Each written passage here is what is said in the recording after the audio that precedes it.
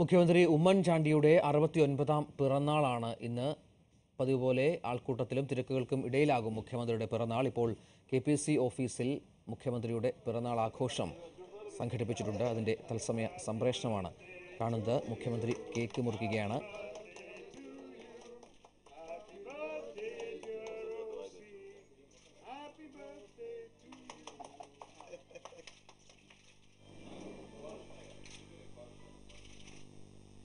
K P C C president Ramesh Chennithala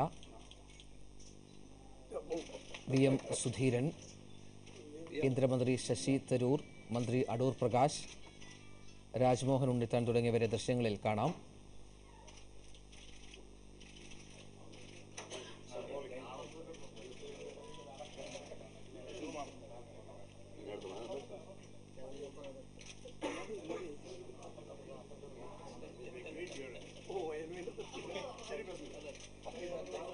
Lallu ചേരുന്നു. വിശദാംശങ്ങളുമായി Lallu K P C ഓഫീസിൽ പ്രമുഖ നേതാക്കളെല്ലാം പിറന്നാൾ ആഘോഷത്തിൽ പങ്കെടുക്കാൻ എത്തിയിട്ടുണ്ടോ? രഞ്ജിത്ത് മുൻ പ്രധാനമന്ത്രി ഇന്ദിരാഗാന്ധിയുടെ രക്തസാക്ഷിത്വ ദിനമാണ് ഇന്ന് ഇതുമായി ബന്ധപ്പെട്ട രാവിലെ കെ പി സി ഓഫീസിൽ പ്രാർത്ഥന സംഘടിപ്പിച്ചിട്ടുണ്ട്. ഈ സർവോധന പ്രാർത്ഥനയിൽ പങ്കെടുക്കാനാണ് മുഖ്യമന്ത്രി ഇന്ന് കെ പി സി സി ആസ്ഥാനത്തെത്തിയത്.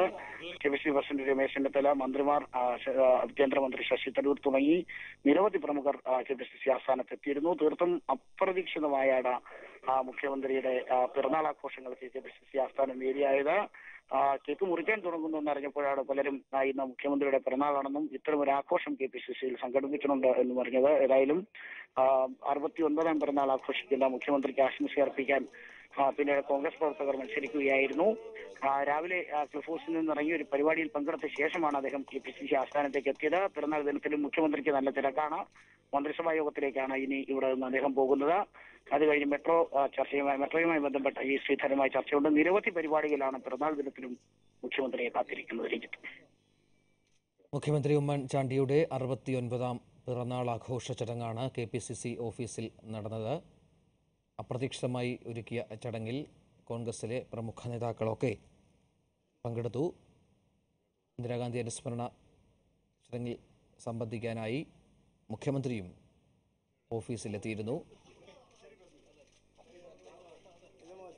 അതുപോലെ ആൾക്കൂട്ടത്തിലും തിരക്കുകൾക്കും ഇടയിലാകും മുഖ്യമന്ത്രിയുടെ പിറന്നാൾ ആഘോഷം.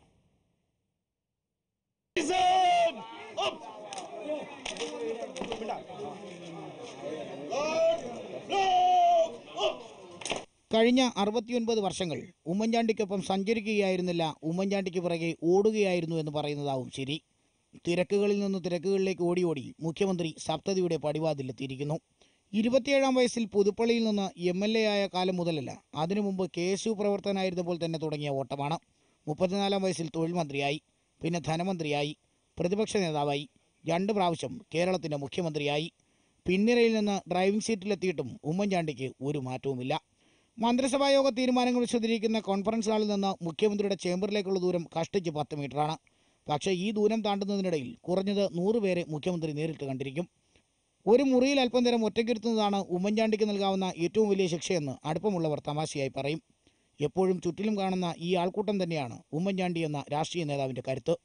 കൂടെ പ്രവർത്തിച്ച പല നേതാക്കളും ദേശീയ രാഷ്ട്രീയത്തിലേക്ക് ചുവട് മാറ്റിയപ്പോഴും പുതുപ്പള്ളിയിൽ ചൂടുറപ്പിച്ചു നിന്ന് പത്ത് തവണ തുടർച്ചയായി എം എൽ എ ആയി നിയമസഭയിലെത്തി. തിരക്കിനിടയിൽ മുടിചീകാനും ഭക്ഷണം കഴിക്കാനും മറന്നുപോകുന്ന പുതുപ്പള്ളിക്കാരുടെ കുഞ്ഞുഞ്ഞിന് കഴിയാത്തത് വിശ്രമം മാത്രമാണ്. എന്നും ജനസമ്പർക്കം തന്നെ. പിറന്നാൾ ദിനത്തിലും പതിവുകൾക്ക് മാറ്റമൊന്നുമില്ല. രാവിലെ മന്ത്രിസഭാ യോഗം കൊച്ചി മെട്രോ പ്രശ്നത്തിൽ ഇ ശ്രീധരനുമായി ചർച്ച പിന്നെ നിരവധി യോഗങ്ങളും. വിശ്രമമില്ലാതെ ഒരു ജാലവിദ്യക്കാരന്റെ കൈയടക്കത്തോടെ ഒരു മുന്നണി സർക്കാരിനെ മുന്നോട്ട് നയിക്കുകയാണ് ഉമ്മൻചാണ്ടി. S ഡല്ലു Asianet news Thiruvananthapuram. ആലപ്പുഴ ജില്ലയിലെ തുറവൂരിൽ കിൻഫ്രയുടെ വ്യവസായ പാർക്കിനുള്ള സ്ഥലമേറ്റെടുപ്പിനെതിരെ നാട്ടുകാർ പ്രതിഷേധത്തിലാണ്. അതേസമയം നാട്ടുകാർ സ്വമേധയാ ഒഴിഞ്ഞുപോകാൻ തയ്യാറാണെന്നാണ് സ്ഥലമേറ്റെടുപ്പിന് അനുമതി നൽകിക്കൊണ്ടുള്ള ഉത്തരവിൽ സർക്കാർ പറയുന്നത്. തുറവൂരിനടുത്ത് നൂറ്റി ഇരുപത്തിയഞ്ച് ഏക്കർ സ്ഥലം ഏറ്റെടുക്കാനാണ് സർക്കാർ തീരുമാനം. ഏറെ നാളായി നിർജീവാവസ്ഥയിലായിരുന്ന നടപടിക്രമങ്ങൾ എമർജിംഗ് കേരളയുമായി ബന്ധപ്പെട്ടാണ്. വീണ്ടും സജീവമായത്.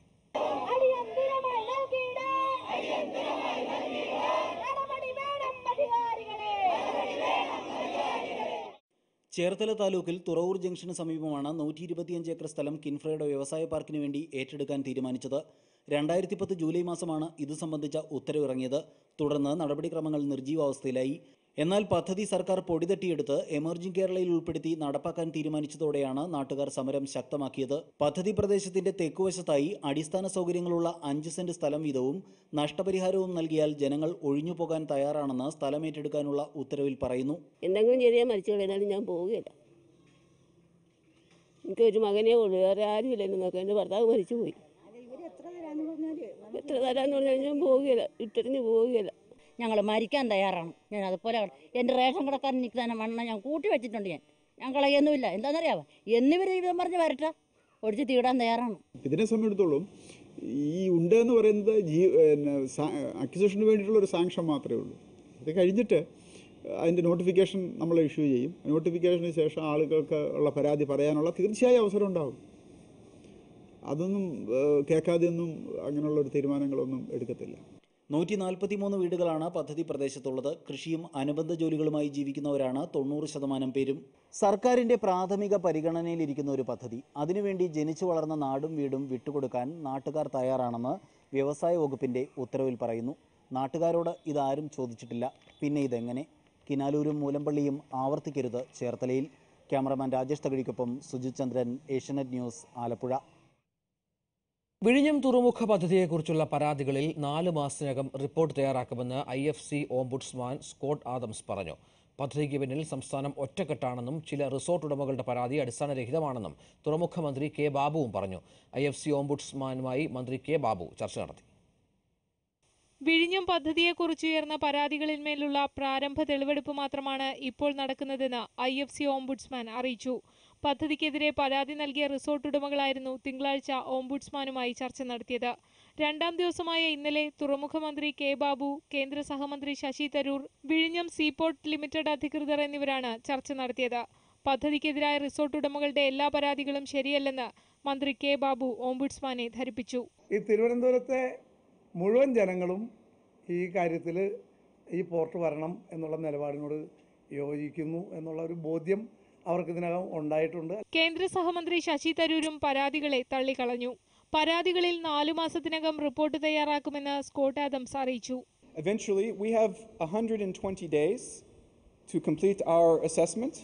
At the end of that time, or perhaps sooner even, we will issue a public uh, assessment report, and that will be in the public domain. വിഴിഞ്ഞം സീപോർട്ട് ലിമിറ്റഡ് അധികൃതർ നാളെ ഓംബുഡ്സ്മാനോടൊപ്പം എത്തി പദ്ധതി പ്രദേശം സന്ദർശിക്കും കഴിഞ്ഞ ദിവസം റിസോർട്ട് ഉടമകൾക്കൊപ്പം ഓംബുഡ്സ്മാൻ പദ്ധതി പ്രദേശം കണ്ടിരുന്നു. ഇതിനിടെ റിസോർട്ട് ഉടമകൾക്കെതിരെ നാല് നഗരസഭാ കൗൺസിലർമാർ മുല്ലൂരിൽ സത്യാഗ്രഹ സമരം നടത്തി. ഏഷ്യാനെറ്റ് ന്യൂസ് തിരുവനന്തപുരം. രാജ്ഭവനിൽ രാഷ്ട്രപതിക്ക് വിരുന്നൊരുക്കാൻ കൊണ്ടുവന്നതും പഴയ ഭക്ഷ്യവസ്തുക്കൾ. ഭക്ഷ്യസുരക്ഷാ ഉദ്യോഗസ്ഥർ നടത്തിയ പരിശോധനയിലാണ് പഴയ ഭക്ഷ്യവസ്തുക്കൾ കണ്ടെത്തിയത്. പുഴുവിന്റെ ലാർവയുള്ള അണ്ടിപ്പരിപ്പും പൂപ്പൽ പിടിച്ച ഉണക്കമുന്തിരിയും നിരോധിക്കപ്പെട്ട കളർ ചേർത്ത പരിപ്പും ഭക്ഷ്യസുരക്ഷാ ഉദ്യോഗസ്ഥർ കണ്ടെത്തി. വി വി ഐ പികൾ സന്ദർശനത്തിനെത്തുമ്പോൾ അവർക്ക് നൽകുന്ന ആഹാര സാധനങ്ങളുടെ ഗുണമേന്മ ഭക്ഷ്യസുരക്ഷാ വിഭാഗം പരിശോധിച്ച് ഉറപ്പാക്കുന്ന പതിവുണ്ട്. ഇത്തരം പരിശോധനയിലാണ് പഴകിയ ആഹാര സാധനങ്ങൾ കണ്ടെത്തിയത്. സംഭവത്തെക്കുറിച്ച് വിശദമായ അന്വേഷണം നടത്താനാണ് ഭക്ഷ്യസുരക്ഷാ വിഭാഗത്തിന് തീരുമാനം. പ്രമുഖ സൂപ്പർ മാർക്കറ്റുകളിലടക്കം പരിശോധന നടത്താനും തീരുമാനിച്ചിട്ടുണ്ട്. നിയുക്ത കർദിനാൾ ബസേലിയോസ് ക്ലിമിസ് കാതോലിക്ക ബാവ ഇന്ന് തിരുവനന്തപുരത്തെത്തും. റോമിലെ സിനഡിൽ പങ്കെടുത്ത് മടങ്ങിയെത്തുന്ന ബാവയ്ക്ക് രാവിലെ ഒൻപതരയ്ക്ക് തിരുവനന്തപുരം വിമാനത്താവളത്തിൽ സ്വീകരണം നൽകും. തുടർന്ന് വാഹനങ്ങളുടെ അകമ്പടിയോടെ പട്ടം സെന്റ് മേരീസ് പള്ളിയിലേക്ക് ആനയിക്കും.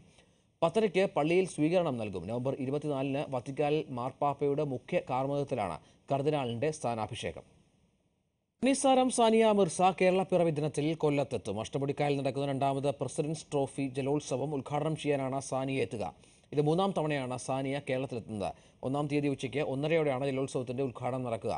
ജലോത്സവത്തിന്റെ ഒരുക്കങ്ങൾ പൂർത്തിയായതായി സംഘാടക സമിതി ചെയർമാൻ പീതാംബരക്കുറുപ്പ് എം പി കൊല്ലത്ത് വാർത്താ സമ്മേളനത്തിൽ പറഞ്ഞു. ഇതൊക്കെ കേന്ദ്രീകരിച്ചുകൊണ്ട് ഒരു വലിയ സംരംഭം എന്ന നിലയ്ക്കാണ് രണ്ടാമത്തെ